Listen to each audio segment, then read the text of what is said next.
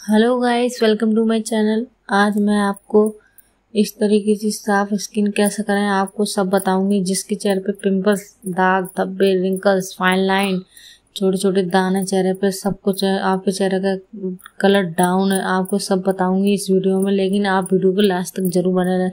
आपको एक ऐसा घरेलू नुस्खा बताऊँगी जो हंड्रेड परसेंट काम करता है आपकी स्किन पे। जी हाँ आपको लेकिन वीडियो को लास्ट तक बने रहना और वीडियो को पूरी देखना है। चलिए तो वीडियो शुरू करते हैं।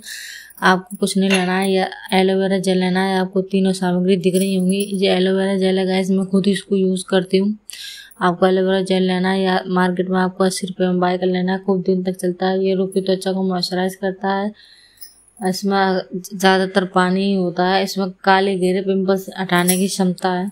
ये उम्र को कम दिखने में कम दिखाने से सूजन वगैरह सब कम करता है सनबर्न वगैरह जो सनबर्न है वो भी हटाता है, ये इससे त्वचा में कसावट आती है तो ये पहला मैंने आपको बता दिया है, इससे क्या होएगा, ये एलोवेरा जेल सॉरी ये हनी है, आप कोई सा भी ले लीजिए दस पंद्रह वाला भी मिलता है, ये इसमें मॉइस्चराइजर जो आपको स्किन को कसावट पिंपल रिंकल से सब हटाने मदद कर, जी गैस हल्दी है, हल्दी भी आपको सन सनबर्न पिंपल्स रिंकल सब हटाने में मदद करती है। तो हम आपको तीनों सामग्री कैसे यूज़ करनी है सब बताते थे। आपको एक कटोरी लेनी है, एक स्पून लेना है, आपको आपको इतना एलोवेरा जेल आप गौर से देखो गैस लेकिन वीडियो को बिल्कुल भी स्किप नहीं करें नहीं तो आपको पता नहीं चल पाएगा किस तरीके से कैसे यूज़ करना है। आपको एक चम्मच एलोवेरा जेल लेना है। देखिए। करीब उतना, देखिए। एक चम्मच है। आपको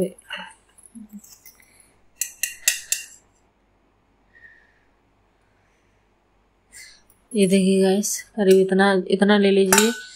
एक चम्मच लेना है जो आपके पूरे चेहरे पे फेस और गर्दन, आपको गर्दन पे भी यूज़ करना है गैस ताकि आपको गर्दन आपकी अलग नहीं हो, क्योंकि ये बहुत जल्दी असर दिखाता है आपके चेहरे पे। आपको थोड़ा सा हनी लेना है। थोड़ा सा लेना है क्योंकि हमें एक ही एक ही बार के लिए यूज़ करना है। पाँच छः बूंद करीब। देखिए इतना करीब ले लाना है। आपको इसमें हनी में मिलाना है। हनी को एलोवेरा जेल में मिला लेना है। आपको थोड़ी सी हल्दी लेनी है। हल्दी में anti aging good antioxidant वगैरह होते हैं, जो आपको, हल्दी को आपको गर्मी हो रही है गाइस तो आपको चुटकी भर हल्दी लानी है। थोड़ी सी हल्दी लानी है, बिल्कुल और कम कर लीजिए। हाँ देखिए, इतना लेना है गर्मी हो रही है तो आपके चेहरे को नुकसान नहीं होना चाहिए। कर इतनी हल्दी देखिए ऐसा कुछ हो जाएगा इस दोस्तों, आपको ज़रूर ऐसी ये नुस्खा ज़रूर इस्तेमाल करना है। आप चाहे तो उंगली से मिला लीजिए। लेकिन मैं ज़्यादातर उंगली से मिलाना पसंद करती हूँ ताकि अच्छी तरीके से मेल्ट हो तो आप एक मिनट तक उसको मिलाइए। देखिए, इसका रंग कितनी जल्दी चेंज होएगा। जैसे इसका रंग चेंज हो रहा है, वैसे ही आपकी स्किन का भी रंग चेंज होएगा। आपको इससे बहुत ही फ़ायदा होंगे गैस पिंपल रिंकल्स छोटे छोटे दाने जो होते हैं आपके चेहरे पे, जो सन बन हो जाता है गर्मियों गर्मियों में छोटे छोटे दान, चेहरे पे लाइन है जो है सब हट जाएँगे। आपके चेहरे पे लेकिन आपको हफ़्ते में दो दो तीन बार यूज़ करना है। आपको देखिए, ये ऐसा हो जाएगा। मैं ये सामने हटा देती हूँ।